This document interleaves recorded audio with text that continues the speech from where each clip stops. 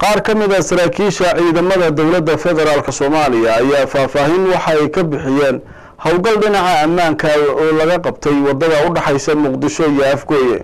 Cabdirasaaq qoslaaye ayaa faahfaahinta warkan magaalada muqdisho nooga soo diray. Xilli muddooyinkii u dambeeyey ay cabasho isdabajooga ka soo yeeraysay shacabka ku nool inta u dhexaysa muqdisho iyo afgooye kuwa oo ka cabanayay ciidamo ku libisan darayska ciidamada oo dhac baahsan u geysta shacabkaasi ayaa maanta waxaa arrinkaasi gaashaanka u dururay taliska ciidanka booliiska gobolka iyo kan maamulka degmada lafoole ee gobolka shabeellada hoose cabdulaahi ciise xasan iyo cabdisalaan maxamed cabdulle oo ka mid ah saraakiisha ciidamada ammaanka ee gobolka shabeellada hoose ayaa ayagu beeniyey in arrimahaasi ay waxba kama jiraan ay yihiin balse uu yahay arrinku mid ay dhodhoobayaan kuwa diidan nabadkaas leexdaa inta u dhexaysa muqdisho iyo afgooye waxaa maalmahan dambe la sheeg sheegaa amni darro iyo maaragtay dad idaacadaha ka hadlaya waxay sheegeen warar been abuura. Waxaan sheegaynaa annagoo maamulka lafoola ah inaan waxaas waxba ka jirin. Lafoolana ay tahay meesha ugu amniga badan gobolka shabeellada hoose. Waa been abuur waa rabsho waxa dhaca xilli waa jiraan laakiinse inta ugu yar oo shil ka dhaco waa meesha ugu yar shabeellada hoose. Muqdishoay ka amni badan tahay. Horta waddanka soomaaliya waa ogtihiin maalin walbo qalasaad way ka dhacaan laakiin haddeer amni darro darro aan sheegi karna ma jirto. Dadka haddeer dhahaya amni darraa ka jirto iyona ayakaa sabab u ah si aan dareemayno. Sababtay tahay amni darro aan annaka nagala soo xiriirin ama inaan noo sheegin inay idaacadaha uga hadlaan.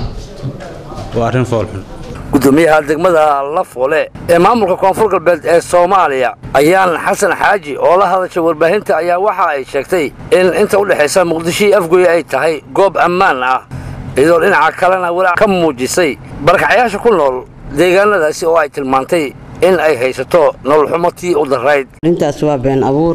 Wax ka jiraan ma jiraan. Annaga waa joognaa hay'adihii amniga waa joogaan jagboyntiyo oo annaga caqabad ku ah gaadiidku ay ka cabaadayaanna ma aragno.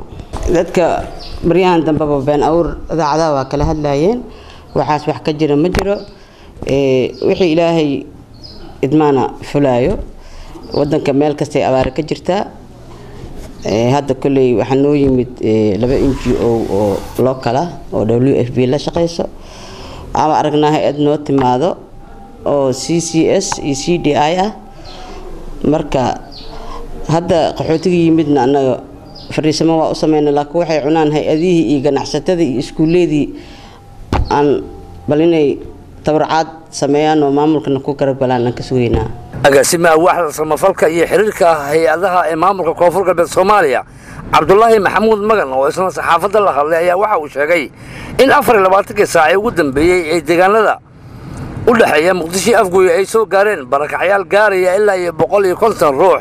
Hase ahaatee waxa uu sheegay in toddoba ka mid a ay u geeriyoodeen gaajo iyo hararaad siduu hadalka u dhigay. Waxaan goobjoog ka ahaa oo shalaydan aan ugu nimid meesha. Sidoo kale dad soo barakacay oo tiradoodu ay gaaraysa boqol iyo konton qofood oo meel gooniya ka soo wada barakacay oo saddex qofood oo ka mid ah ay ku dhimatay meesha ay hadda joogaan waxaan aragnay oo aan hadda dul joognaa oo aan idin soo tusay haddii lahaydno dad ilaa kumanaana kumanaan qoys oo barakacayaal ah. Oo aan hoy haysan oon biyo haysan oon cunto haysan oo aan adeega bulshada oo dhan. Midna ka haysan. Haddana noloshoodii ay qilqiil ku jirto. Una baahan gacan ilaahay ka sokoow gacan bini aadamnimo baahan. Gobolka shabeellada hoose oo ka mid ah gobollada ugu khayraadka badan dalkeena soomaaliya ayaa muddooyinkii u dambeeyey waxaa ku habsaday roob la'aan taasi oo saameyn ku yeelatay nolosha dadka iyo dunida ku nool gobolka shabeellada hoose. Cabdirasaaq aadan qoslaaye kalson t v gobolka shabeellada hoose